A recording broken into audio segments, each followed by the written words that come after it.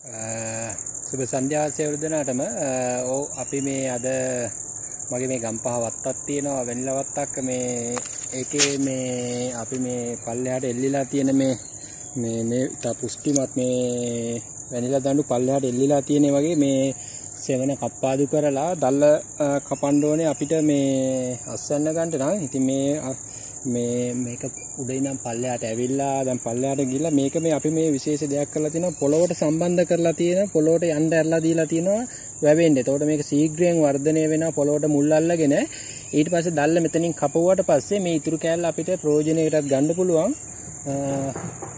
ඒ අනුව තමයි අපි මේක කරලා තියෙන්නේ මේ බණ්ඩ හොඳයි. තා පුෂ්ටිමත් මේ වගේ ඉතින් අනිවාර්යයෙන්ම හොඳ අස්වැන්නක් අපි ලැබෙනවා කියලා බලාපොරොත්තු වෙනවා. අපි බලමු නම් මේකේ මේ දැල්ල කොහොමද කපන්නේ කියන එක. ඔව් ඔබට ඇති මේ මේ තමා මේ ඉතා පුෂ්ටිමත් වැනිලා දණ්ඩ.